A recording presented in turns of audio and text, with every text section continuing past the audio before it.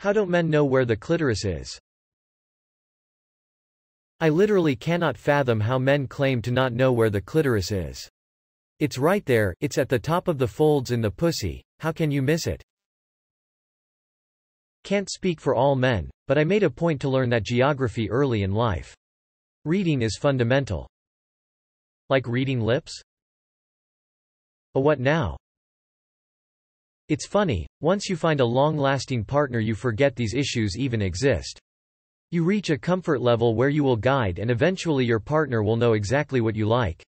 And then you will ask yourself, why didn't I have the confidence to guide potential short-term partners I would probably never see again? Re-situate yourself. Move their head and show them what you like. Most dudes can't even make a girl come. They don't know these reactions they should be looking for. It's a stroke till finish mindset until shown otherwise. You'll never bust that slurp suck beanflick nut unless you do.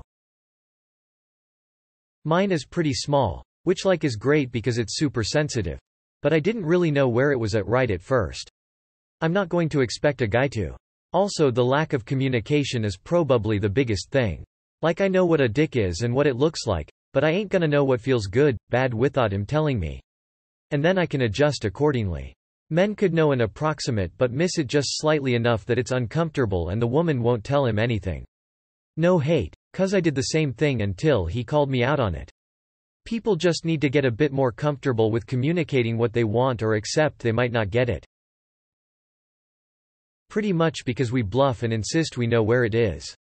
And then we end up licking your urethra. And y'all are usually too polite to go dude. That's not my clit. Culture. Purity culture. Compulsive heterosexuality and limited sex ed. Sexism and a male-centered approach to, among other things, sex and pleasure. Most women aren't really taught to believe that sex is something pleasurable for them or something they should and will desire. Sex is something that men do to them because men are hypersexual and women are hyposexual. Women must protect themselves by, 1. Not learning about their bodies or sex and, 2. Keeping their legs closed.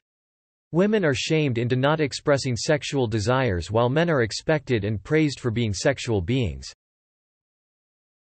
Of course they're gonna know what intercourse is by the time they hit fourth grade they've got the Discovery Channel, don't they?